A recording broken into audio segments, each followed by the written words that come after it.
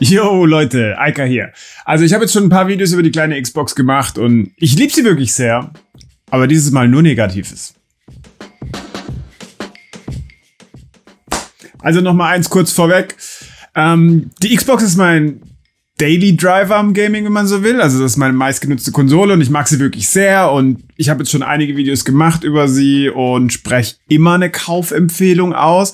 Aber weil ich nicht so dieser klassische Hype-Dude sein möchte, wie es mm, öfters mal so ist, gibt's heute mal ein Video, in dem ich eigentlich nur schimpfe. Also da würde ich sagen, fangen wir einfach mal direkt mit den ganz offensichtlichen Dingen an. Und zwar die Series S hat kein Laufwerk. So, jetzt könnte man natürlich sagen, ja, im Moment, also Stand heute, 10.11., ähm, 2021, kriegt man die Series S auf Amazon für 259 Euro und dann kann man ein fehlendes Laufwerk nicht unbedingt als negativen Punkt aufzählen irgendwo. Aber das kleine Teil ist technisch dazu in der Lage, ein externes Blu-ray-Laufwerk zu unterstützen. Das wäre überhaupt gar kein Problem für die. Die hat genug USB-Anschlüsse, steckst du ran, kannst dir Games kaufen, kannst dir reinlegen, Gebrauchtmarken, sowas. Da ist eine Software-Sperre drauf. Das macht die PlayStation genauso, das machen sie alle so, weil, hey, du hast eine digitale Konsole gekauft, also musst du digitale Spiele kaufen. Ist schon klar, aber es ist ein negativer Punkt. Dann die Größe der SSD. 512 GB ist klein für so ein Gaming-Device. Gerade mit den modernen Spielen. Es ist ganz frisch gestern Forza Horizon 5 rausgekommen. Das allein hat schon 101 GB. Da ist schon mal ein großer Teil weg. Jetzt kann man sagen, ja, ist ja nur ein Fünftel von der Festplatte. Aber es sind ja nur 360 GB verfügbar, weil der Rest fürs Betriebssystem drauf geht. Und die Treiber und Zeug. Ich habe keine Ahnung, was davon so viel Festplattenplatz verbraucht. Das ist irgendwie ein bisschen viel für das dünne Betriebssystem. Aber ist nicht meine Expertise. 360 GB sind wirklich nicht viel. Machst du Warzone drauf, machst du Forza Horizon 5 drauf, dann kannst nicht mehr so viel zocken. Man kann den Speicher zwar erweitern, ist gar kein Problem, kannst einfach eine externe Festplatte anschließen, ist wunderbar, kannst du dir 5 Terabyte HDD kaufen per USB dran, hast richtig viel Platz drauf.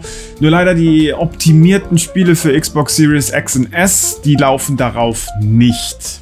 Das allein würde ich jetzt nicht als negativen Punkt nehmen, weil naja, die Spiele sind halt so optimiert auch auf Ladezeiten und die brauchen nun mal den Speed von dieser internen SSD und der muss halt entsprechend flott sein. Und deshalb gibt es die offiziellen Erweiterungskarten von Xbox, beziehungsweise von Seagate, aber Xbox lizenziert.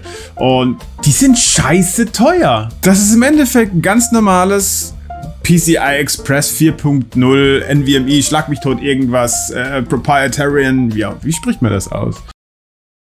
Proprietary.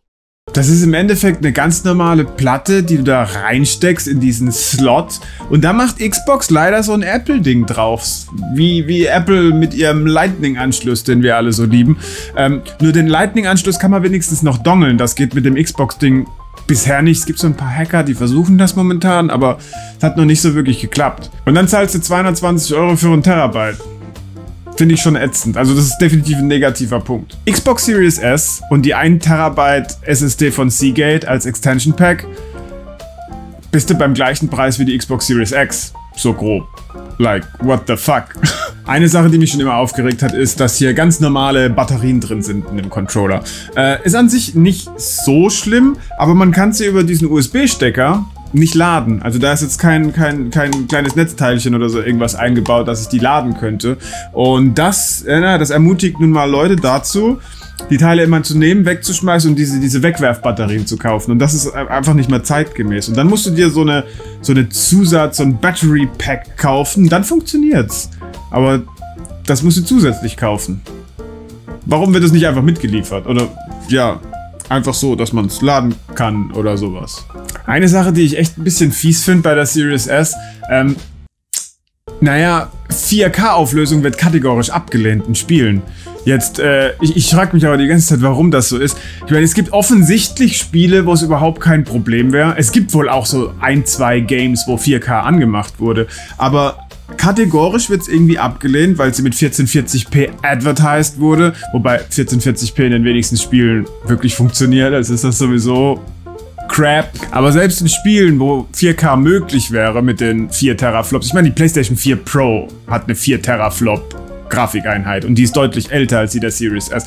Die ist dazu in der Lage. Ich meine, wenn ihr Netflix guckt auf der Xbox oder Amazon Video und so Sachen, dann könnt ihr auch 4K darstellen. Das funktioniert schon auf dieser Konsole, so ist es nicht. Aber es wird kategorisch abgelehnt. Und damit kommen wir auch zum nächsten Punkt mit dieser kategorischen Ablehnung, beziehungsweise nicht das volle Ausschöpfen. Ähm, ja, die Series S wird nicht voll ausgeschöpft immer. Jetzt so ein aktuelles Beispiel, was ich dazu absolut habe, ist äh, Guardians of the Galaxy. In der Pre-Release-Version gab es noch einen 60 FPS-Modus. Gab es einen Performance-Modus. Und in den Release Day One Patch äh, haben sie den rausgenommen. Jetzt gibt es nur noch 30 FPS. Und 30 FPS Warum? Warum haben sie den rausgenommen? Irgendwie war es wohl so, dass er öfters mal in die niedrigen 50er gedroppt ist. Also 52 FPS, 53 FPS, auch mal über längere Perioden und so. Aber immer noch besser als 30. Also was, was ist das Problem? Oder man macht einfach so ein, wie, wie, wie Resident Evil Village das gelöst hat. Die haben einfach einen 45 FPS-Modus gemacht mit äh, Motion Blur. War wunderbar. Natürlich ist es nicht optimal, aber das Potenzial ist ausgeschöpft. Und wenn die Konsole 45 FPS kann, was das Problem daran ist, einfach zu machen? Was ich gar nicht mag, ist jetzt so diese, diese Marketingmasche dahinter immer. Also auf den, auf den Kartons der Konsolen, also das ist jetzt nicht nur bei der Series S, also einige dieser Punkte zählen nicht nur für die Series S, aber da steht dann so drauf 1440p, 120 Hertz. Es ist äh, falsche Werbung, ne? Also auf der PlayStation 5 steht 8K drauf. Was für 8K? Wie kommen die überhaupt drauf, das mit 1440p zu bewerben? Die Series X ist beworben mit 4K Auflösung auf 60 FPS als, als Standard-Spielmodus. Macht sie, passt, ist, ist, ist okay, richtig beworben. Die Series S ist mit 1440p beworben, eine 4 Teraflop Maschine gegen eine 16 Teraflop Maschine, vierfache Grafikleistung bei vierfacher Auflösung und jetzt willst du die gleiche Leistung bei, bei der halben Auflösung, bei einem Viertel der Grafikleistung. Jetzt muss ich aufpassen, dass ich im Kopf nicht durcheinander komme. Das macht gar keinen Sinn. Warum bewirbt man die nicht von Anfang an? 1080p, 60 FPS Konsole, wunderbar. Ich meine, keiner hat ein Problem damit. Das ist, wer sich eine Konsole kauft, die nicht dem höchsten bildqualitativen Standard entspricht, äh, der ist zufrieden damit, wenn sie 1080p macht. Und das tut sie ja auch. Aber es wird halt einfach falsch beworben und man bekommt so ein bisschen eine Packung, die man eigentlich nicht gekauft hat. So, das waren jetzt so mal die Punkte, die mich nerven an der Konsole. Ich habe ein paar Punkte absichtlich nicht reingemacht. Niedrige Auflösung von der Konsole, das halte ich nicht für einen negativen Punkt, weil man hat sich bewusst dazu entschieden, nicht die Version zu kaufen mit der hohen Auflösung. Dann kann ich mich hinterher nicht beschweren, oh, das ist aber negativ, dass sie eine niedrige Auflösung hat. Obwohl ich dennoch gesagt habe, naja, das Potenzial wird manchmal nicht ausgeschöpft und bei manchen Spielen wäre es sicherlich möglich, 4K-Modus zu aktivieren. Und alles in allem, wer mich kennt, weiß ganz genau, dass ich ein riesiger Fan von der Series S bin, dass ich mega gerne darauf spiele und dass ich sie immer empfehle. Also dann, wenn euch auch noch Dinge einfallen, die ihr nicht mögt, oder wenn ihr mir widersprecht bei meinen Punkten, dann schreibt es mir doch gerne in die Kommentare. Ähm, Würde mich sehr freuen. Auch ein Like und ein Subscribe. Und dann sehen wir uns beim nächsten Mal. Kauft euch eine Xbox.